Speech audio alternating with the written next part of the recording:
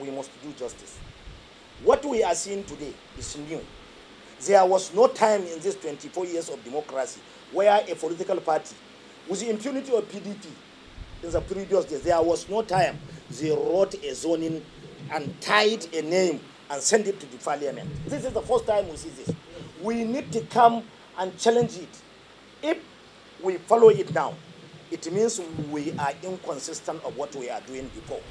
We with Asiwaju when we fight Obasanjo.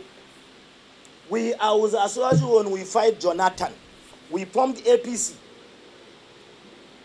What is the difference between what APC is doing now and what PDP? The impunity, I can say it is impunity plus. Therefore, it's not all about Barau.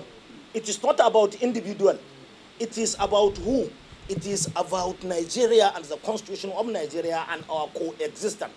When we try to, we spend 12 years fighting PDP.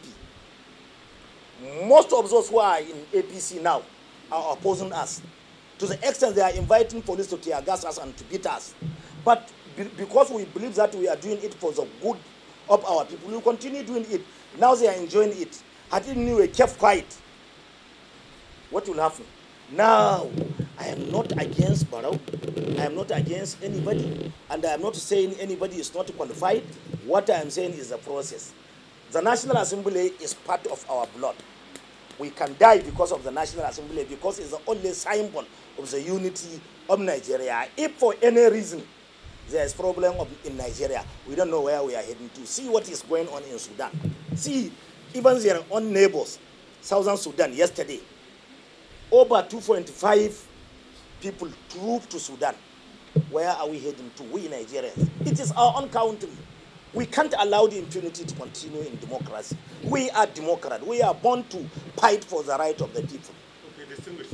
Is this the position of the NN, uh, NNPP?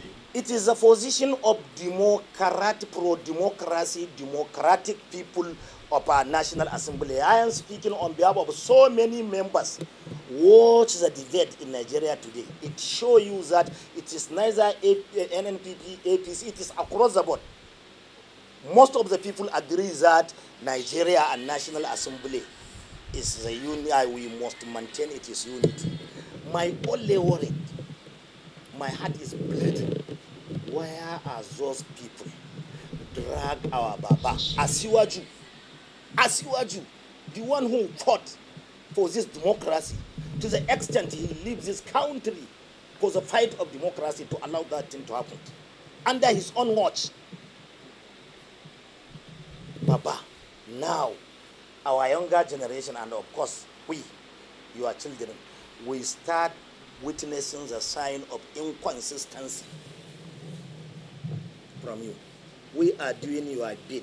Your bid is to have a prosperous Nigeria, a united Nigeria, a democratic Nigeria, where everybody will say Alhamdulillah. Thank you, sir.